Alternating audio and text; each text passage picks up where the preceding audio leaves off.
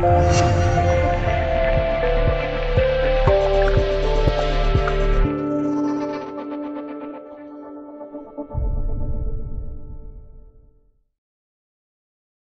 不能相信他那么晚才被选走。在过去的十一个月里，每当有人提及爵士和多诺万·米切尔的选秀顺位时，前面这句话总会被偶尔提及。现在说这话，有些事后诸葛亮，但是很多人都在谈论当时有多少球队都急切的寻找一个后卫来当球队的领袖，而他们却愚蠢的错过了米切尔，让他落到了第十三顺位。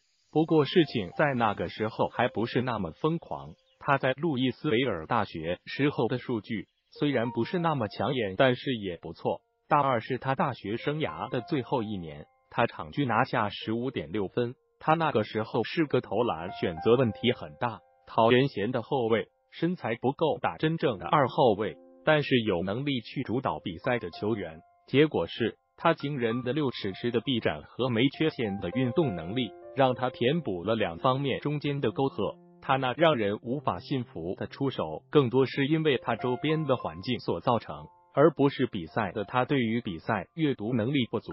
如果十七年选秀重新再来一次，那么他被选做状元也不是不可能。作为一个尼克斯球迷，有一部分的我很开心，因为米切尔没来纽约；一部分是因为弗朗克·尼里基纳是我最喜欢的法国球员之一。但是最主要的原因是因为尼克斯内部混乱，的会让米切尔的爆发变成昙花一现。但是很多事情都是冥冥之中自有天意。对于米球来说，他命中要来到爵士，并且很快的成为球队的门面。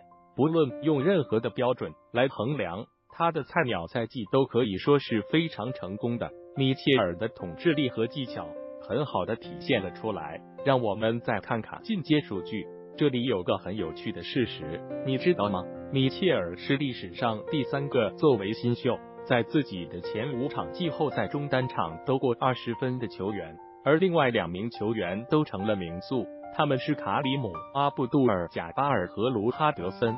接下来，让我和你念叨点你早就听腻了的事实：他带着这样的一支除了自己以外没有真正进攻得分点的爵士队，场均拿下二十点五分。运动战命中率百分之四十三点七，并且场均还能拿下三点七篮板、三点七助攻、一点五抢断，场均还能命中二点四个三分球。在这样一个充满竞争的西部，他的能量推着爵士队得到了西部第五的位置，并且踏过了这样天赋异禀、经验充足的雷霆队，进入了西部半决赛。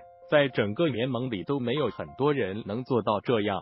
更别提二十五岁以下的球员了。米切尔已经成为了一个明星球员了，并且就像很多人说的，他是真正的最佳新秀。尽管他错失了最佳新秀奖，但是鉴于他的实力，在我们的榜单上他荣获第六的位置。